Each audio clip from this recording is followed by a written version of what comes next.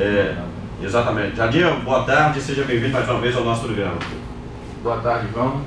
Está funcionando bem? Beleza, pode ficar tranquilo, não? Boa tarde, João. Boa tarde, ouvintes da cidade FM. É um prazer mais uma vez estar aqui na rádio, né, para a gente estar batendo um papo sobre o cenário político nacional, estadual e municipal, né, que é, o momento requer que as lideranças locais tomem atitudes, né, algumas atitudes de vir manifestar as questões que estão acontecendo aí é, é, nos bastidores da política, é, como eu disse, nacional, estadual e municipal. Exatamente, eu quero deixar claro desde já, são 13h24, já vai falar 20 minutos com a gente aqui e o espaço está aberto para o PT, para Ronaldo Cassiano caso queira vir pedir voto, é, para o candidato, exatamente, e para o pessoal de, é, é, do PDT quiser vir aqui, viu? O espaço está aberto aqui. Eu conversei com o Ludmilla no fora, ela citou para a gente abrir esse espaço aí, mas dá o tempo justo para cada um para não haver nenhum tipo de reclamação. Então a gente começa aqui então, com Jardinha. Para deixar claro, a gente é presidente do, do Democrata. Do Democrata, exatamente. Né? E também como a vereadora na, na, na Câmara, Evânia, é do PRP. Então esses dois partidos a gente Que você representa os dois partidos. A gente representa e eu, principalmente, como presidente do Democrata aqui hoje no nosso município. Sim, Jardinha, vamos começar falando da política a nível de Bahia. Ontem o Datafolha, o IBOP, lançou uma pesquisa aí, dando 44 pontos para Paulo Souto, que venceu no primeiro turno. Em segundo lugar, que era Lídice, agora é, Rui Costa está com, tá com 15. E Lídice da Mata está com 9. Eu queria que você fizesse a sua análise aí em relação a esse tudo que foi divulgado. Já um outro instituto, que é o instituto ligado ao governo, que é de Marcelo Nilo Badesco, coloca Paulo Souto com 41, Rui Costa com 21 e Lídice da Mata com 9, 10 pontos também. A mesma coisa. Eu queria que você fizesse um, uma avaliação é, sobre essas duas pesquisas. É, a gente vai ser muito breve, é, eu tenho outros assuntos a descer aqui hoje. Não, isso é uma realidade, é fato. Né? A Lídice vinha em segundo no início, na, quando começou a divulgar essas pesquisas aí, dentro de uma naturalidade, o PT deu uma reagida, porque começa agora é, a campanha, né? E vem a questão do, do dos da, da presidenciável, a, a reeleição Dilma, o próprio líder do partido Lula começar a participar da campanha, é natural esse crescimento né, nesse percentual que eu entendo no, é, no meu modo de entender, tem um limite, né? Vai bater na, nessa tecla aí de, de em torno de 20, 20, 20 alguma coisa por cento do percentual de voto do Estado. Segundo, a gente andando né, nas cidades e conversando com as lideranças, as principais lideranças do Democrata, né, no entendimento deles, a política hoje fecha no primeiro turno. Paulo Souto, governador da Bahia. Né? E a gente é, fica satisfeito com isso, que é o povo preocupando né, com o governo, com os políticos, que hoje está aí desacreditado. A gente está vendo a luta que está aí hoje, Você viu o debate o debate dos presidenciais, já vou, já vou mudando aqui da esfera estadual para federal, o, o, debate aonde é, é, é, a gente viu, eu não achei que ninguém foi melhor do que ninguém no debate, todos se sobressaíram, a Dilma, a própria Marina, é, Aécio Neves, Aécio Neves né, e os outros também, aqueles lá de 1% que estão ali tentando, é, é, de qualquer forma, preencher ali o seu espaço, mostrar para a população que seus partidos né, são idôneos, são partidos que também merecem é, o respeito e está ali para mostrar suas propostas. Então o que a gente entende nisso, o que a gente entendeu nesse período aí é que a Marina, né, na, na, na, esfera federal, deu uma crescida né, no percentual é, é, é, é de voto. Né, foi, eu, eu vi no, no, no, Instituto é, mostrando Dilma 34, Marina 29 e Aécio caiu para 19, que era 23, caiu para 19. Então Marília dá essa crescida, tudo mostrando que ela vai para o segundo turno com Dilma, né?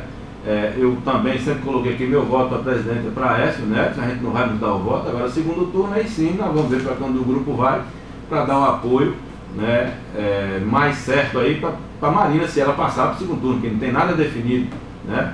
Não tem nada definido.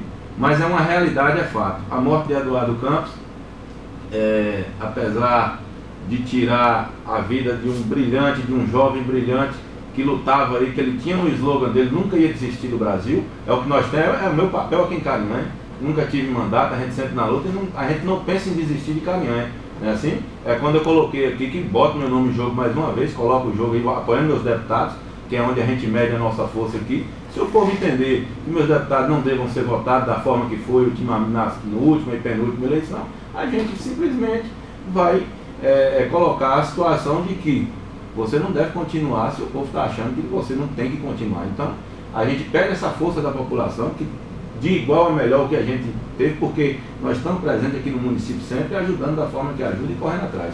Não quero desistir de Carinha. Então, quem vai me proporcionar isso é o próprio eleitor carinhense. Então, é, a, o que eu tenho a colocar aqui, João, sobre essa questão, o PT preocupou demais com essa, com esse, está preocupado demais com esse crescimento, né? É, causou aquela comoção com a morte de Eduardo Campos.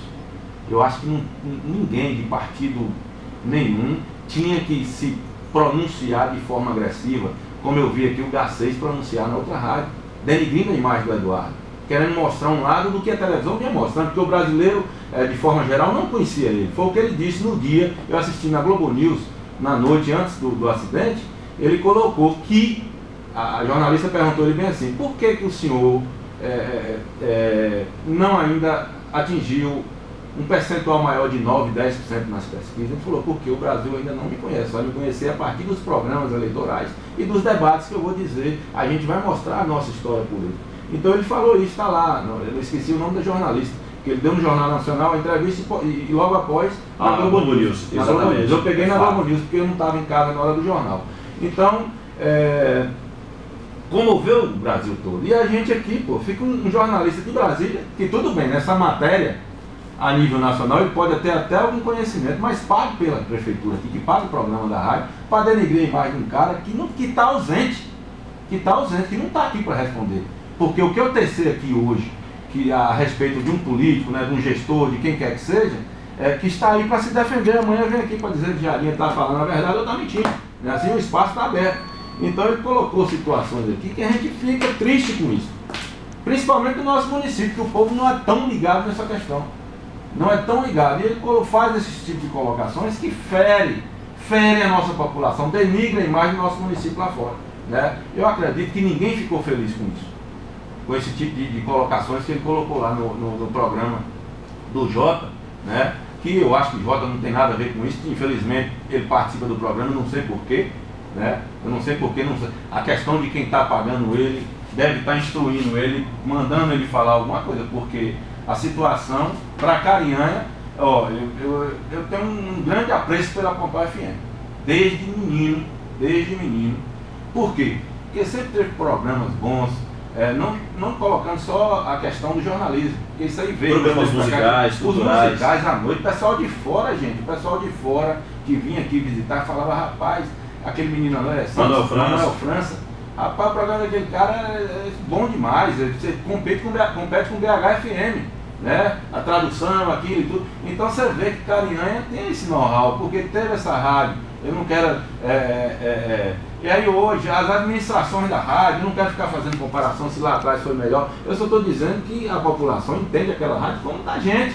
Eu não sou dono de não tenho nem os áreas, áreas. É um patrimônio do é povo. um patrimônio do povo. Mesmo que tenha seus donos lá, tudo bem, mas tome cuidado com esse tipo de, de, de, de, trabalho que estão mostrando lá.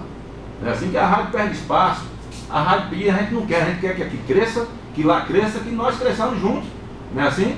Para que venha é, é, gerar uma satisfação, o jornalismo, esse jornalismo é, fictício, onde só defende uma bandeira, que você não vê uma crítica, né? esse prefeito, será que ele é certinho em tudo?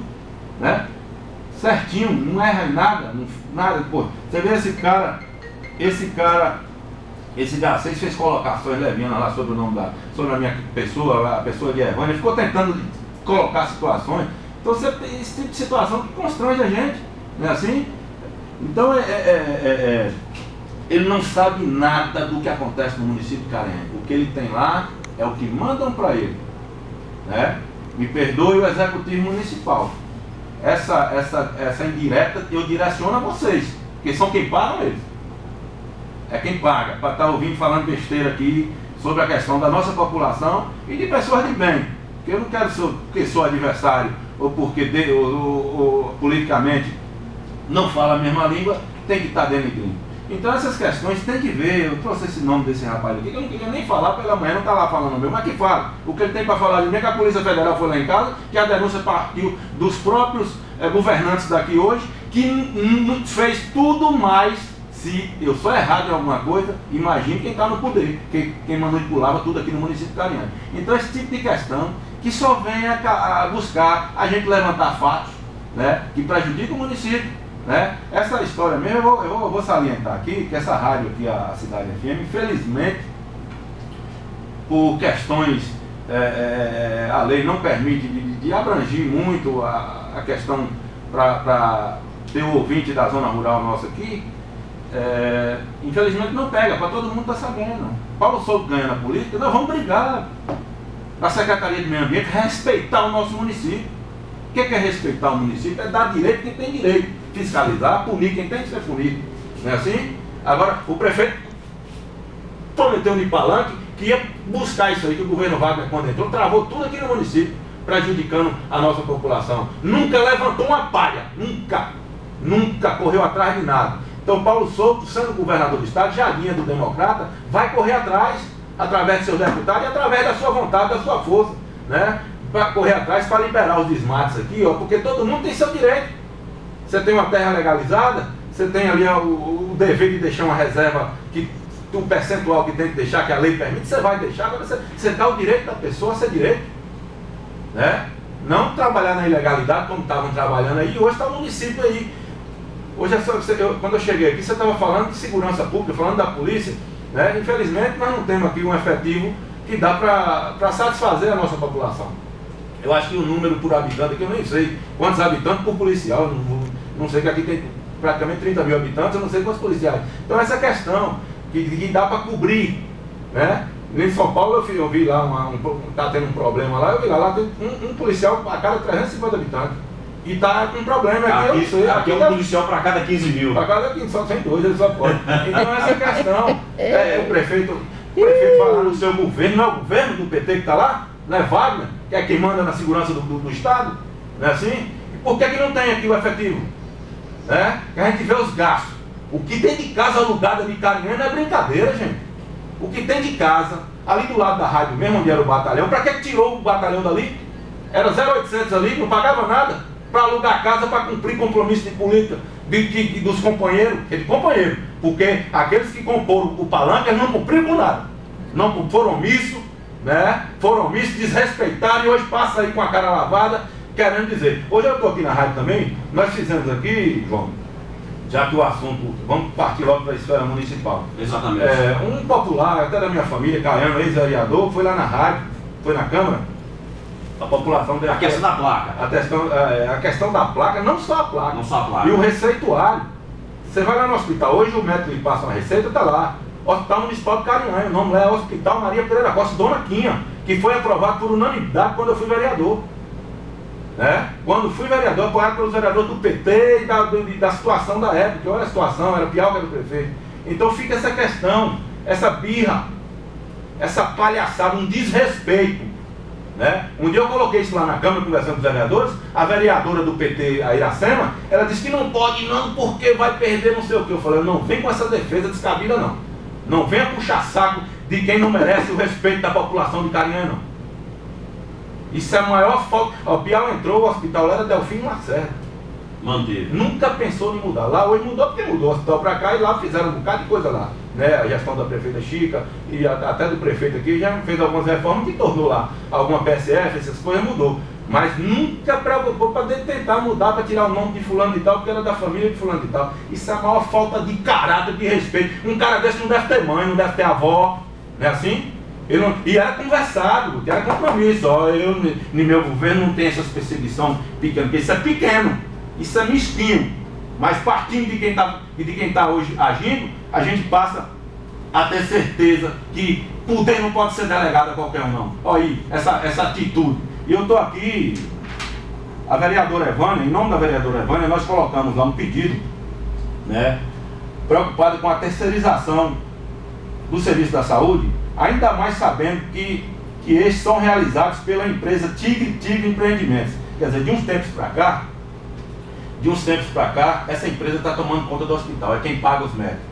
Por um contrato de 4 milhões 124 mil 700 reais.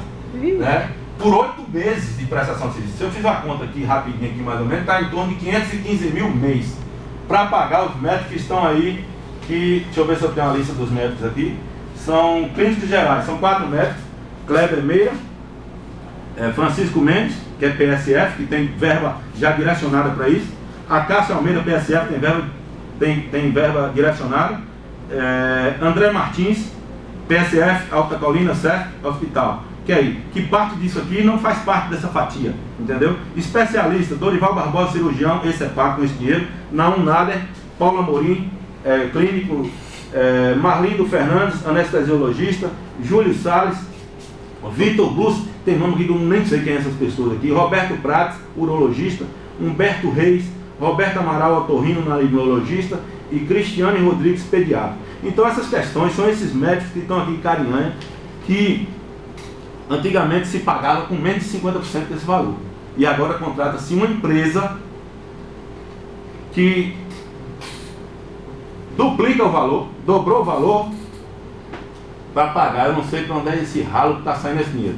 Então, preocupado com isso, é, a empresa, Tigre Tigre, empresa está na propriedade do senhor José Henrique Tigre, que além de proprietário, majoritário e administrador da empresa, preso em 18 de fevereiro de 2014, juntamente com seus comparsas, entre Elvio Cardoso, presidente do PSB Vitória da Conquista, acusados de desvio de 60 milhões de reais dos cofres públicos. Os presos foram indiciados pelos crimes de fraude de licitações, desvio de verba. É, é essa questão que nós fizemos, fraude de licitações. Nós pedimos aqui as cópias do pregão e tudo. O prefeito deixou ultrapassar o prazo e mandou uma resposta dizendo que o regimento nosso não permite isso. Qualquer popular tem o direito de Você imagina uma presidente da Câmara, não pode fazer esse pedido. Mas isso não importa não. Nós estamos puxando da forma que devemos puxar, vamos ao tribunal e vamos denunciar. No Ministério Público, que já tem denúncia lá sobre a placa e o nome do hospital, e o Ministério Público não, não, não tomou providência. Não tomou providência ainda. Né? Porque eu acho que esses assuntos que envolvem a administração, que envolvem dinheiro público, tinha que ter a resposta o mais rápido possível. Então essas questões, é, é, é, mas mesmo assim nós não podemos desistir. Tem um Ministério Público Federal, nós vamos entrar no federal, vou a Brasília procurar a União para formular denúncia sobre isso aqui. Se, se estão omitindo os documentos, é porque tem coisa errada.